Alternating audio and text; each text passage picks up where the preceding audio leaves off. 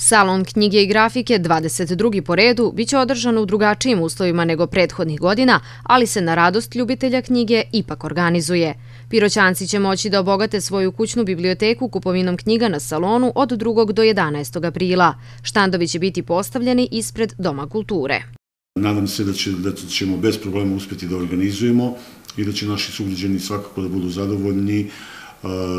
Nije, nije onaj sajam koji smo na, na koji smo želeli i na koje smo navikli naše sugrađane. Nadali smo se da ćemo možda moći da uđemo u zatvoreni prostor, međutim, s obzirom da su mere i dalje na snazi, mi smo se odlučili da to uradimo na trgu ispred Doma kulture. Trebalo bi da bude 16 štandova, očekujemo da budu najmanje 12 izdavača, još uvek nemamo tačan, tačan broj njih koji će da budu. To su u principu one izdavači koji su bili i ranije godina na sajmu knjiga.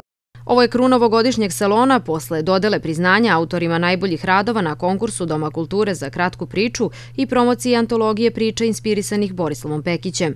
U planu Doma kulture su još dve promocije, a manifestacija će biti zatvorena dodelom sajamskih priznanja.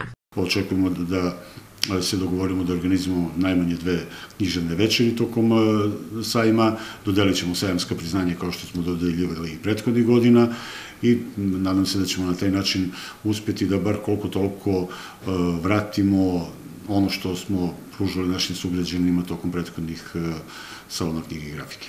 Salon će biti otvoren za posetioce od 10 do 20 sati. Dom kulture Pirot organizuje ovu tradicionalnu manifestaciju uz podršku Narodne biblioteke. Pokrovitelj je grad Pirot.